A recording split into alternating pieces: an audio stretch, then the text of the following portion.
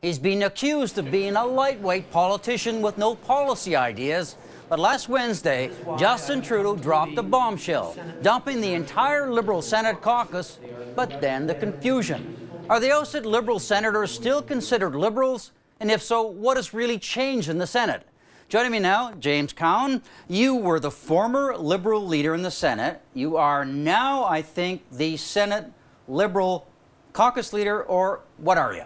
I'm the leader of the opposition in the Senate, and I'm the leader of the Senate Liberal caucus. So you're a Liberal? I am, absolutely. And Mr. Trudeau is a Liberal? Absolutely. So. And I support Mr. Trudeau. And you will not do anything to damage Mr. Trudeau? Absolutely. I'm going to work as hard as I can to make sure that he's the next Prime Minister. So I don't really get this thing then, how he's throwing you off. If he's no, if you support him, you want to do everything he wants. So sure. where's the? It's well, a bit confusing. You must me, admit. Let me explain. Yeah. Uh, what Mr. Trudeau has decided, and I support the decision, is that Liberal senators or senators will no longer be part of the National Caucus of the Liberal Party of Canada. That caucus consists will consist entirely of elected members of Parliament, and the Senate senators will be completely independent as the Senate should be. The Senate is, a, is an independent body in Parliament, and it should act more independently, and senators should act more but independently. But he, he didn't tell you about it. He didn't tell any of your Senate colleagues about it. In fact, he didn't even tell any. He didn't even tell the, the elected MPs in his caucus about it. This was the decision by Justin Trudeau and a group of 12 unelected officials. That cut, rub some of your colleagues the wrong way. Well, I, I, I mean, I think it was a bold uh, initiative, and I think, uh, I think the element of surprise is important, and I think that he made, told everybody at the same time, and I think that was fair. This is sort of the way uh, Prime Minister Stephen Harper acts, though, right? Right in with well, his little group I, of clique uh, people? I certainly wouldn't want to tar Mr. Trudeau with by associating with Mr. Harper. I think they're very different individuals. Yeah, but you, you admit some of your colleagues were not happy. I well, I, we, were, I th- we, we, were surprised. Uh, obviously, we, we, weren't aware of it uh, before uh, he told us of the decision.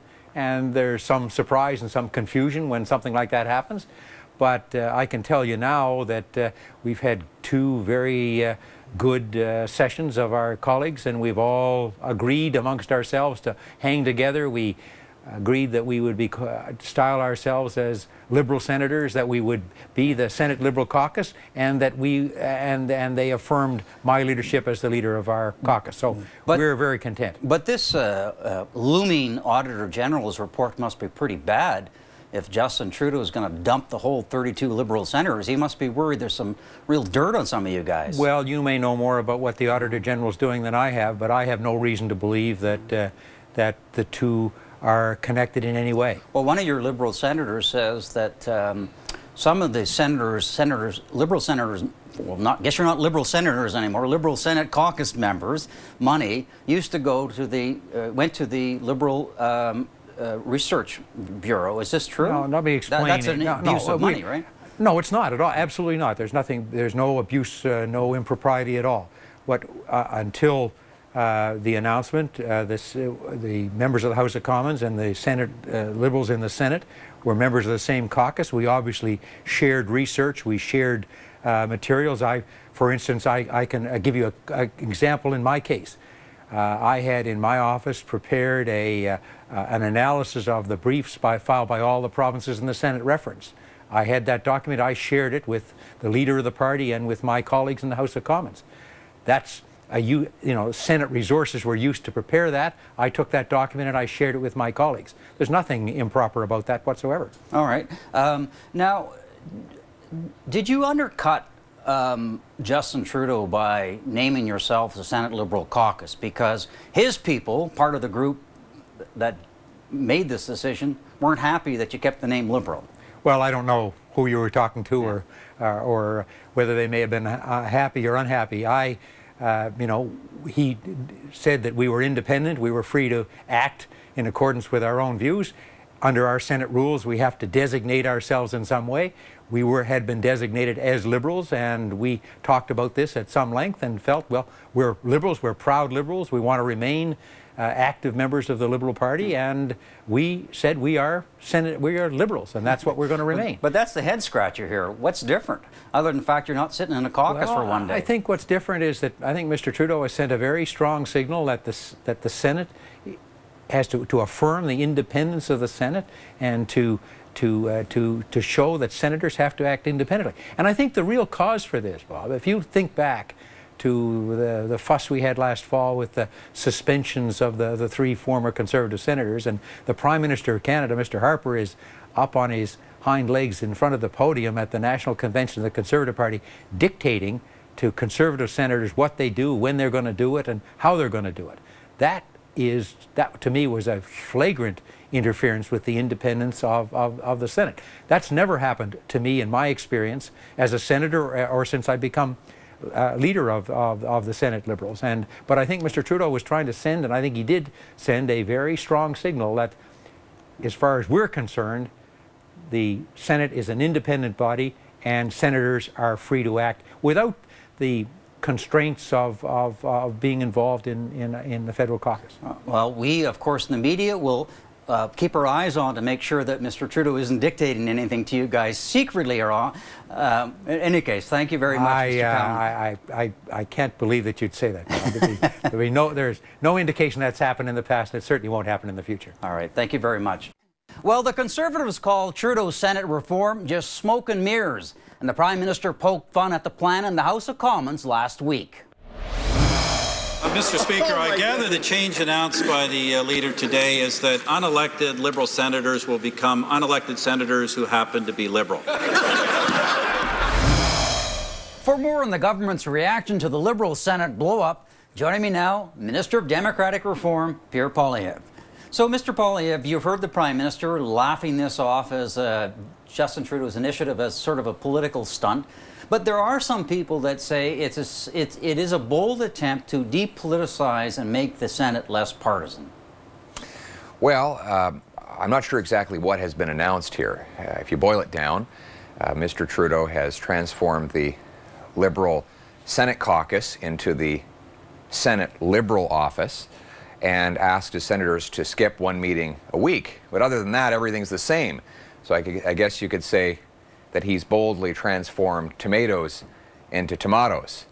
Um, but beyond that, I don't see much substance to uh, what occurred uh, this week.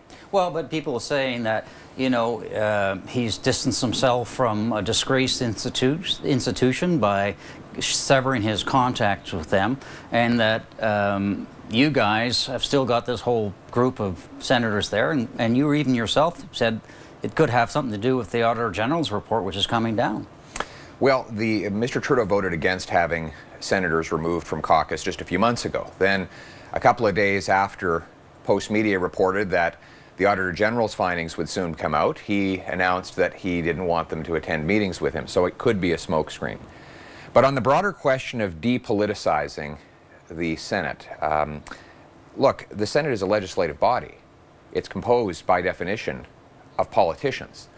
So I'm not sure where we're going to find these apolitical politicians to do apolitical work in a political institution.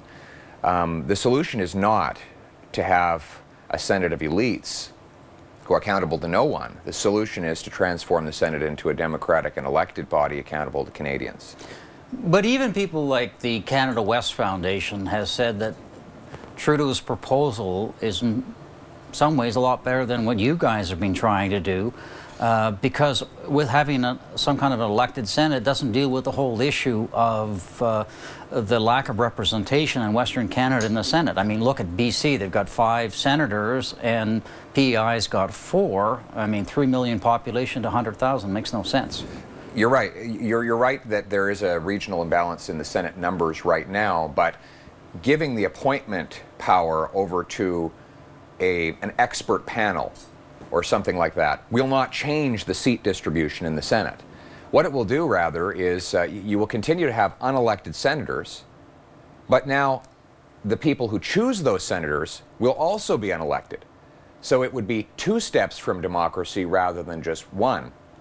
Also, future prime ministers would have the ability to, whenever the Senate misbehaves or makes decisions that are reprehensible to Canadians, future prime ministers would be able to just say, look, not my problem, not my fault. This decision was made by this expert panel. So um, it's a new kind of Triple E Senate by the elites, of the elites, and for the elites. It is even worse than the status quo. That's why we've gone to the Supreme Court we're seeking the, the legal mandate to allow Canadians to select their senators through an elective process. Okay, but how do you counter him? Because he's getting lots of great press on this. People are saying such a great, bold move on his behalf. Uh, and he's distanced himself from you guys and the NDP, which want to abolish. You won't have some kind of elected Senate if you can never get that. And he's saying you can't, there's no way you're going to be able to reopen the Constitution. So this is the best that we can do given the circumstances. Well, I think the best we can do given the circumstances is what we've already done in the province of Alberta where the government in that province held elections, and then Prime Minister Harper respected the outcome of those elections by putting the winners in the upper chamber. He's done that uh, four or five times now. We still have three senators in the upper chamber who were democratically elected by the people of Alberta. We want to take that prototype national so that every Canadian has a chance to vote for who their future senators are. And we're asking the Supreme Court for a legal instruction manual on how to do that. Mr. Poilievre, thank you very much. Good to be with you, Bob.